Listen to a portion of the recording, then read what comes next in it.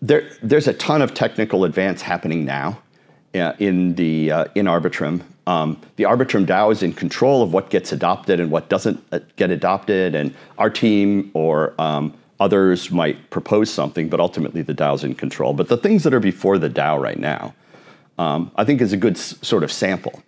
Um, there are three big upgrades that are being discussed there. One of them is called BoLD, which is an update, which is the next generation proving technology that's still optimistic style of proving, but which makes proving the, the proving a part of the system fully permissionless, um, meaning any one user can participate and any one user can force the system to execute correctly.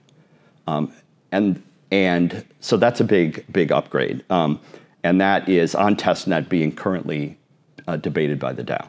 Second is Stylus. This is a technology that what we call the multi VM, which says that um, you can still run every Ethereum program because you still have support for EVM, full support, but also you have the ability, if you want, as a developer, to write your smart contract in any programming language, not just the kind of special languages that are used by, for blockchain like Solidity. Now you can write in Rust or C or C++, those standard programming languages that have great tooling and huge developer communities. And that means several things. It means one, that a lot more developers can onboard into the blockchain space much more easily because they can use tools and languages they already know and they're already using in their, say, Web 2 jobs. Number two is there's a lot of existing code out there written in those languages, including things like well audited um, cryptography libraries that now you can bring on chain. Um, and number three is that um, execution of code in Stylus is much more efficient. And so you can do a lot more computation. You can do many more types of applications using the same gas. So that's Stylus.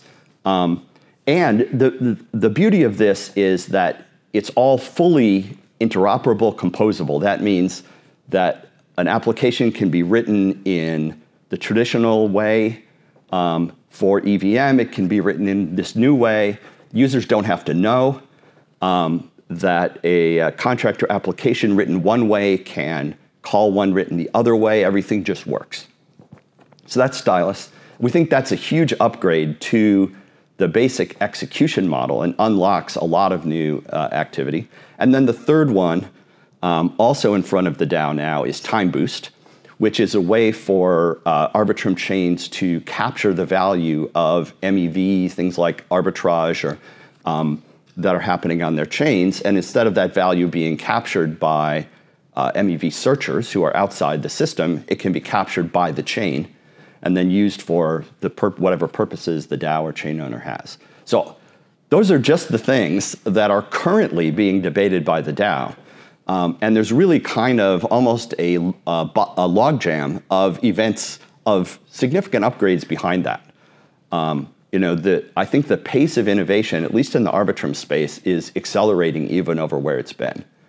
Um, there's a ton of stuff coming, performance improvements, um, uh, more cross-chain functionality, faster withdrawals,